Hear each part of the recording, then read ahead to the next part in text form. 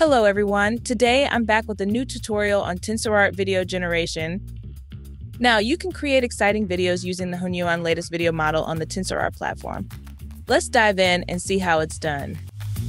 First, visit TensorArt using the link in the description and log in with your Google account. After that, click on Create and navigate to the Image to Video tab. Okay, now in this tab, you'll see options to select an image, choose a model, and adjust other parameters. Now, simply select an image, choose the Hunyuan model, set the video resolution, enter a prompt, and click Generate.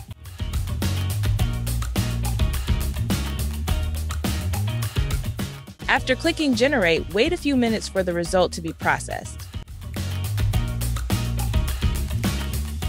Great. Now you can see that the video has been generated just as we requested. And that's how easily you can create a video from just an image.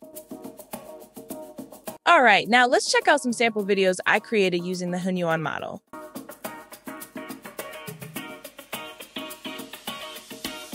Okay, so that's how you can generate videos using the Hunyuan model on the TensorArt platform.